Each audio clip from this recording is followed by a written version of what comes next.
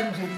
നമ്മൾ മനസ്സറിഞ്ഞ് വിളമ്പി കൊടുക്കുമ്പോൾ ഓരോ മുഖത്തുണ്ടാകുന്ന തേച്ചുകൊണ്ടല്ല അത് കാണുമ്പോൾ മനസ്സും പണമില്ലാത്തതിനാൽ വിശന്ന് വലയുന്നവർക്ക് ആശ്വാസമേകുന്ന പദ്ധതിയാണ് ഓപ്പറേഷൻ സുലൈമാനി. നഗരത്തിലെ അൻപത് ഹോട്ടലുകളിൽ അർഹരായവർക്ക് സൗജന്യ ഭക്ഷണം നൽകും. പദ്ധതിയുടെ ഉദ്ഘാടനം മന്ത്രി എം കെ മുനീർ നിർവഹിച്ചു.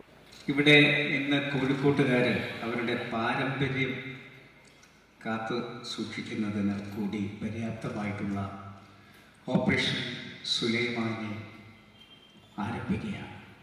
കോഴിക്കോട് ജില്ലാ കളക്ടർ എൻ പ്രശാന്താണ് പദ്ധതി ആസൂത്രണം ചെയ്തത്. വിശപ്പ് അനുഭവപ്പെടുമ്പോൾ നമ്മൾ കൈ നീട്ടേണ്ട ഒരു അവസ്ഥ ഉണ്ടാവേണ്ട കാര്യമുണ്ടോ? യഥാർത്ഥത്തിൽ ഇല്ല. കേരളം പോലുള്ള ഒരു പ്രബുദ്ധ ജനത എന്നൊക്കെ പറയുന്ന എഡ്യൂക്കേറ്റഡ് ആയിട്ടുള്ള സൊസൈറ്റിയിൽ അതിന്റെ ആവശ്യമില്ല. ഉസ്താദ് ഹോട്ടൽ എന്ന സിനിമയാണ് പദ്ധതിയുടെ പേരിന്റെ പ്രചോദനം. സിനിമയിൽ വിശക്കുന്നവന്റെ നൊമ്പരങ്ങൾ പകർത്തിയ അഞ്ജലി മേനോൻ സൗജന്യ ഭക്ഷണത്തിനുള്ള ടോക്കൺ വിതരണത്തിന്റെ ഉദ്ഘാടനം നിർവഹിച്ചു. വില്ലേജ് ഓഫീസുകൾ വഴിയാണ് കൂപ്പൺ വിതരണം ചെയ്യുക. Media one Kozhikode.